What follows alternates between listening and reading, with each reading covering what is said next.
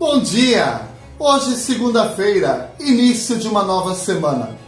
Eu rogo que a graça, o amor de Deus o Pai e a comunhão do Espírito Santo estejam com todos e todas vocês. Como é bom receber de presente das mãos de Deus um dia e uma nova semana para estudar, trabalhar e viver em amor e com amor e por amor com aqueles que Deus nos confiou. Ouçamos o que as senhas diárias previstas para o dia de hoje têm a nos dizer. Salmos, capítulo 23, versículo 5 diz assim: Preparas um banquete para mim, à vista dos meus inimigos. Tu me honras, ungindo a minha cabeça com óleo e fazendo transbordar o meu cálice.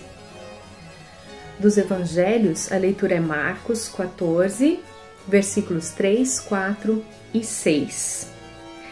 Estando Jesus em Betânia, reclinado à mesa na casa de um homem conhecido como Simão o leproso, aproximou-se dele certa mulher com um frasco de alabastro contendo um perfume muito caro, feito de nardo puro. Ela quebrou o frasco e derramou o perfume sobre a cabeça de Jesus.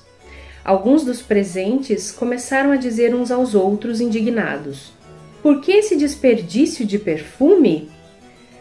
E Jesus então diz: Deixem-na em paz. Por que a estão perturbando? Ela praticou uma boa ação para comigo.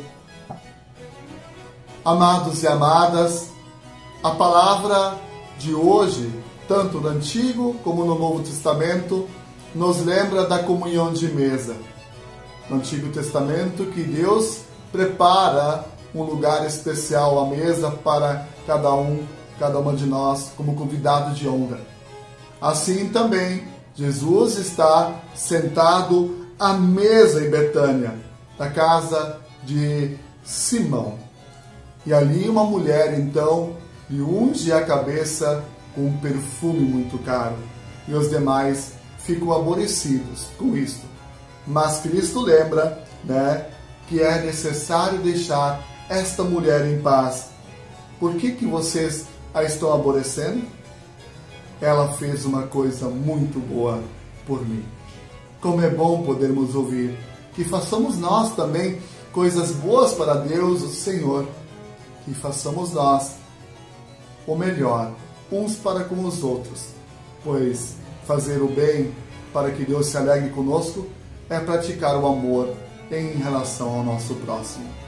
Palavras de Paul Gerhardt: Tu me assentas à mesa, fazes com que eu me refresque quando o meu adversário provoca muita dor no meu coração.